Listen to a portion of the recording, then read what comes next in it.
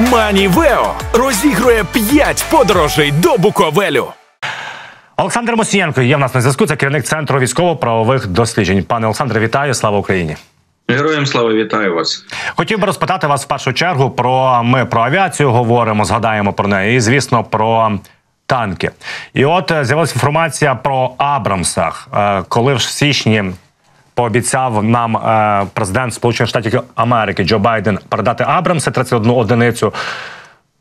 І з того часу досі не зрозуміло, а коли ж ми їх отримаємо, яким шляхом ми їх отримаємо. І тепер вже стало відомо, це офіційна позиція Білого Дому, що вони передадуть нам трішки старішу модифікацію М1А1, а не М1А2, аби, мовляв, швидше їх передати і отримати їх десь восени. Скажіть, будь ласка, чому така проблема з тими абрасами, і чи треба будуть вони нам восени? Ну я думаю, що нам зброя буде не зайва завжди. Треба розуміти, що е, навіть після закінчення війни, я думаю, що нам все одно треба буде накопичувати зброю, ресурси. По перше, для того, щоб е, компенсувати витрачені ресурси, сили, засоби. А по-друге, ну ж таки, мета ж е, нашої перемоги і нашої війни е, це не просто Досягти деокупації е, українських територій, а це ще й зробити так, аби в майбутньому е, Україна була настільки сильною, щоб не зазнавати жодних атак і бути готовим до будь-яких сценаріїв, які може там виношувати ворог. Це, е, Це наша мета, і це очевидно. І на реалізацію цієї мети. Танки будуть потрібні завжди. Наступний момент, що стосується постачання зброї. Ви знаєте, що е, в питанні саме логістики, забезпечення, постачання і надходження до України зброї. Є досить багато свідомої дезінформації, яка спеціально все ж таки для забезпечення умов безпеки вона перетранслюється в змі. І досить часто певні факти вони і дати не не збігаються, і це робиться свідомо і правильно, що це робиться для того, аби е, ворог е, не мав змоги із відкритих джерел дізнаватися важливу потрібну інформацію, так аби його це позбавити. І тому ми досить часто бачили, що іноді трапляється так, що оголошується про те, що е, якась зброя може надійти до кінця року, може прийти до кінця до через кілька місяців, а вона умовно може з'явитися через два. 2-3 місяці. Не виключено, що так може статися і з Абрамсами. Я думаю, що не дарма це повідомлення з'явилося, і е, не дарма говориться про те, що е, знову ж таки це може бути на осінь і так далі. Можливо, це буде дещо раніше, і ця зброя вже буде застосована зараз у бойових умовах і у війні. І звичайно, вона нам знадобиться.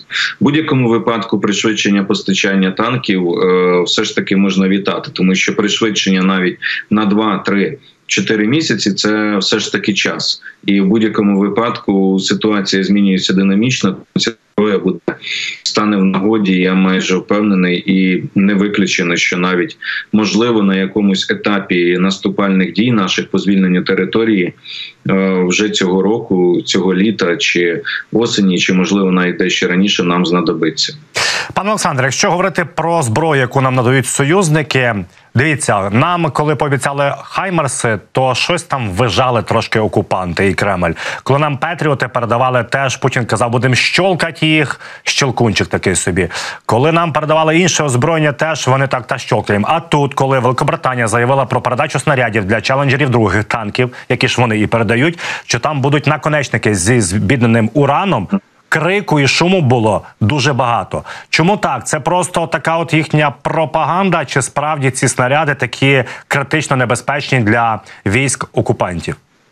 Ну, справа в тому, що вони захопили, вони схопили за фразу Уран і почали це транслювати як. Е, те, що спричинить е, там ядерне забруднення, серйозну катастрофу і тому подібне. Хоча знову ж таки е, такі снаряди або броню ми знаємо, фактично уранову використовують ті ж танки Абрамс певної модифікації, або снаряди для танків, які використовуються боєприпаси так само з урановим компонентом. Їхня мета.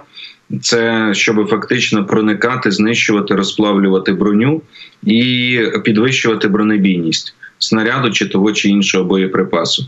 Отже, тут і так само знищувати укріплені позиції ворога, фортифіковані оборонні позиції, які можуть бути оснащені великим захистом елементів або з металу. різних сплавів, або з бетону чи інших там речовин. От вам і відповідь, чому бояться. Бояться. Не через те, що там вони придумали фейкові історії про радіаційну небезпеку, бо це не ядерна зброя. Це вже сказали, я не знаю, мільйон разів пояснили, розповіли, в чому різниця і так далі.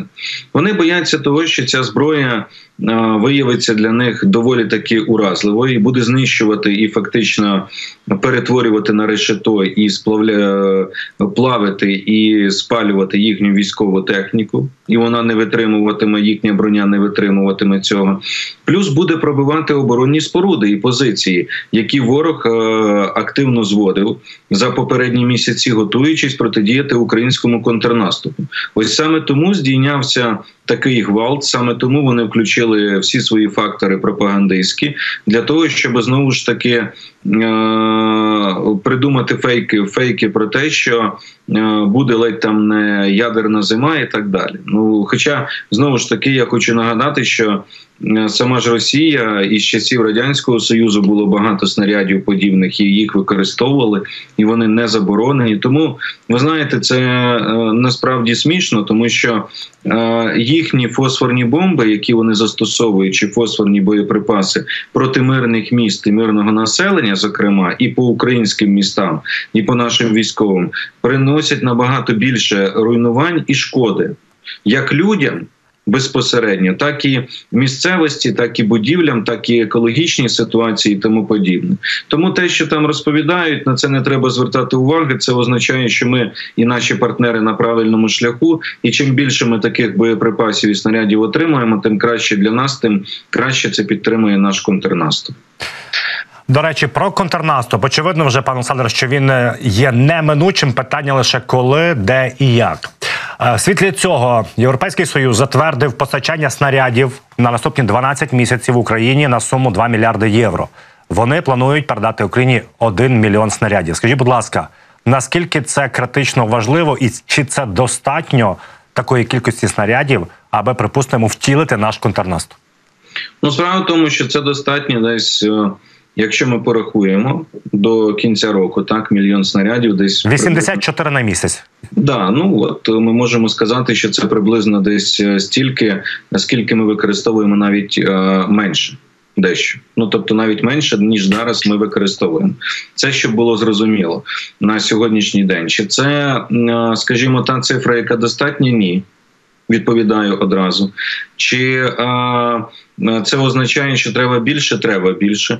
Е, чи може Європа і Захід на сьогоднішній день дати набагато більше? Тут є певні питання, тому що ці запаси потрібно поновлювати. Саме тому ось це рішення ЄС воно комплексне. Насправді, крім того, що снаряди мають бути передані, має бути уже зараз запущені нарешті виробництво таким чином, щоб вони відповідали умовам воєнного часу на заході і збільшили істотно в рази кількість боєприпасів снарядів, які вони можуть виробляти, тому що те, що є на сьогодні, звичайно, те, що виробляють окремі компанії корпорації, вони не задовільняють потреби, які є. Треба більше і розуміння, нарешті, розуміння цього прийшло. Ухвалені відповідні рішення. Дай Боже, щоб вони реалізовувалися так, як потрібно. Другий момент Україні так само е, потрібно долучатися, і ось ті зараз новини, які там є, про те, що Укроборонпром презентував 150 міліметра збільшує виробництво з країною НАТО. Потрібно нам розширювати виробничі можливості на 155 міліметрів і спільно з країнами НАТО виносячи туди виробництво, вочевидь, якщо це неможливо зараз там з безпекових міркувань робити в Україні, значить в інших країнах, там країнах НАТО, Польщі, Чехії, можливо, інших, де буде погодження, розташовувати ці виробничі потужності, е, давати виробничі лінії фахівців компаній і долучатися до виробництва. Це теж і наше завдання, і це в наших інтересах. Що стосується контрнаступу, ну ми скажемо так, що зараз ми використовуємо величезну кількість снарядів для для артилерії, тому що ми захищаємося, тому що ми в позиції, коли треба знищувати техніку ворога, його сили. І його забезпечення, і так само вести контрбатарейну боротьбу артилерійську при наступальних діях дещо інше. Потрібно дійсно теж багато снарядів, але е, це компенсується і тим, що є танки, є броня і є так звана зброя прориву, яка фактично йде. Після артилерійської підготовки е, і знищує позиції противника. Ось на це, мабуть, робиться розрахунок. Тобто, розрахунок робиться на те, що буде е, певна кількість артилерійських снарядів, як це було, наприклад, на Харківщині. А далі буде стрімкий рух українських військ з бронетехнікою різних видів. Е, із застосуванням можливо, ми до того часу отримуємо додаткові або JLSDB, снаряди до Хаймерсів, або щось інше далекобійне, або можливо ракети Скальп від Британії, і ми матимемо більший радіус ураження і більше покладатися на ці е, види озброєння, тому що ну ну і знову ж таки, чи потрібно нам буде виходити з ефективного планування використання кількості артилерії сили засобів? Так потрібно. Но досвід я вам скажу, деокупації Харківщини продемонстрував, що за умов правильної підготовки організації. Е, ми здатні навіть економити снаряди порівняно з тим, що планували до застосування. На Харківщині планували до 100 тисяч застосувати, використали 33 тисячі, але досягли позитивного результату.